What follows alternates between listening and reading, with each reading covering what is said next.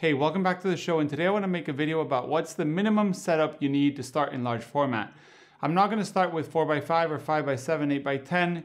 You choose the size, but this is going to be basically the bare minimum you're going to need to start shooting large format. As many of you know, large format is not like 35 or medium format, which pretty much cameras come complete. Large format, you need every little piece and accessories. This is gonna be the minimum I suggest you should start with. First thing is gonna be a camera. You're gonna need a camera that will be a large format camera. It can be, as I said, 4x5, 5x7, 8x10, monorail. Depending on what you need, you'll get a camera. You gotta get something that meets what you're looking for. Don't buy something just because it's cheap. Don't buy something just because it's a luxury brand. Just buy whatever fits your budget and fits your photography. Second thing you're gonna need is gonna be a lens. And uh, I'm not gonna talk about pinhole, I'm gonna talk about lenses on a shutter. So this is a Fuji 180, for example, on a Seiko, I think is uh, number one, like a Copal number one. And this will cover 4x5 no problem, 5x7, even 8x10. And of course, you're gonna need it to be on a compatible lens board. So if you're looking for a large format camera, do make sure you buy something that has an easy lens board to build or to find.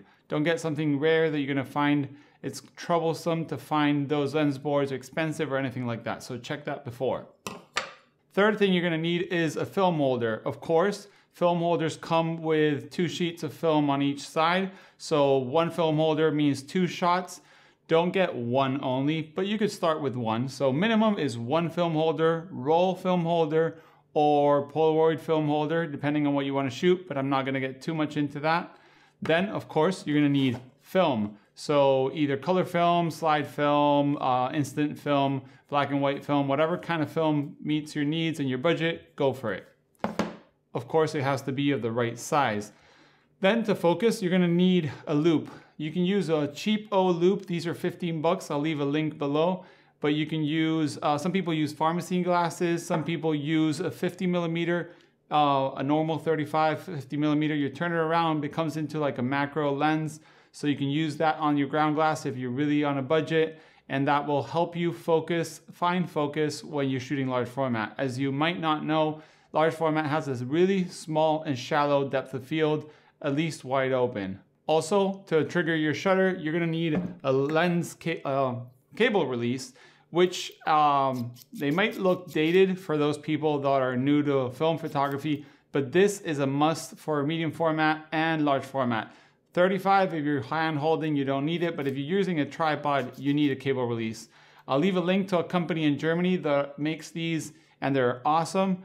Uh, but you can find them at any local store that's halfly decent in photography. If not, go get them online, Amazon, B&H, any other store like that. You can find them, they're cheap.